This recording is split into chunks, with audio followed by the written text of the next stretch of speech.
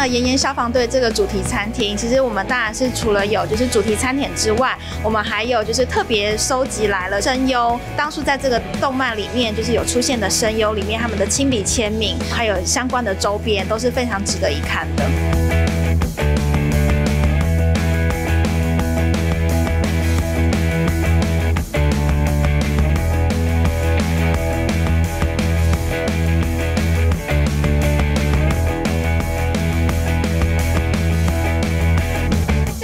点部分啊，其实我们是有呃三个主餐嘛，两个甜点，还有六款饮料，都是针对里面主角的个性去做出来的。像是你喜欢吃炸鸡啊，或者是欧陆牛排，然后或者是意大利面，其实都是有很多的选择，大家可以按照自己喜欢的喜好来做选择，是最棒的。